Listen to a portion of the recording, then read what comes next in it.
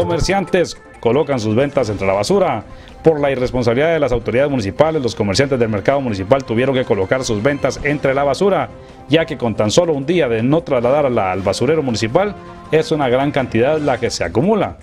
Los comerciantes han manifestado que de no limpiar todos los días optarán por no pagar el piso plaza y con ese dinero pagar para que les limpien, ya que las autoridades municipales son incapaces de prestarles el servicio de limpieza, pero no así para cobrar a diario a todos los comerciantes. Esta situación ya la habíamos predicho cuando de buenas fuentes nos llegó la información que les habían dicho que el crédito de la empresa que les provee el combustible les informó que dicho crédito había llegado al máximo y que únicamente les despacharían pagando la deuda.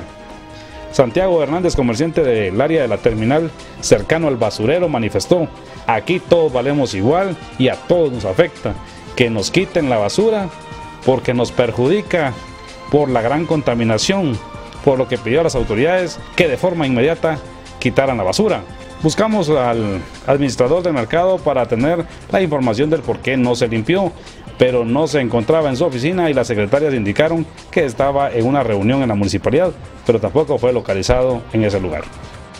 Para los T21, los Chapines y el mundo, notijalapa.net.